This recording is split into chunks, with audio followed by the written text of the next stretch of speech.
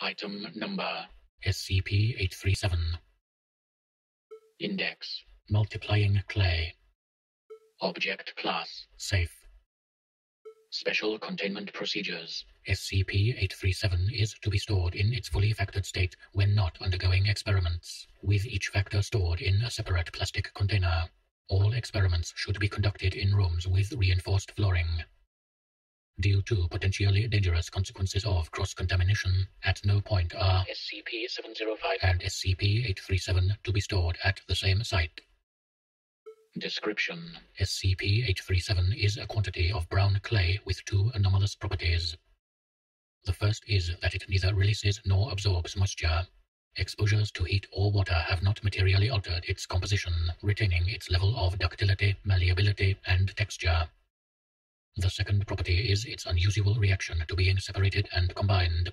While both of these occur as easily as with normal clay, the results are non-arithmetic. When two pieces are combined, the resulting quantity is both larger and heavier than the individual pieces. When two pieces are separated, the resulting quantities are much smaller and lighter than they should be.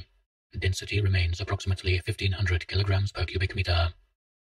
Measurements have shown that each quantity is an integer number of drams, an imperial unit of weight equal to 1 16th of an ounce, or 1.8 grams at standard gravity.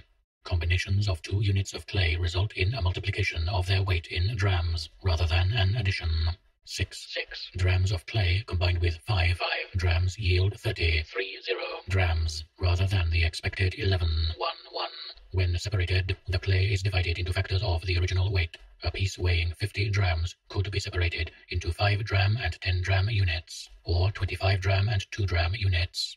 It cannot be divided into two 25 dram units. When a prime factor is produced, further pieces separated produce 1 dram units, without apparent loss of mass to the prime unit.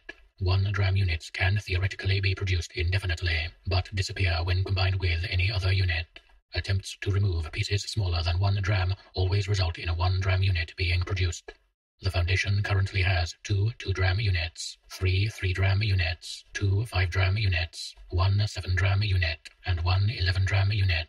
When separated, these quantities weigh 41 drams, or approximately 73 grams. When combined, the entire quantity weighs 207,900 drams, or 368 kilograms.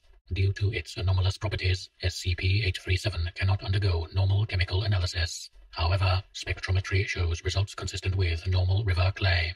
SCP-837 was found by urban explorers in an otherwise empty warehouse in Munich, Germany, in a cardboard box with the number 6 stenciled on the side. The owners of the warehouse were unaware of anything being stored there. Addendum 837-01 Any future samples of SCP-837 recovered must be stored at a separate site, barring O5 approval.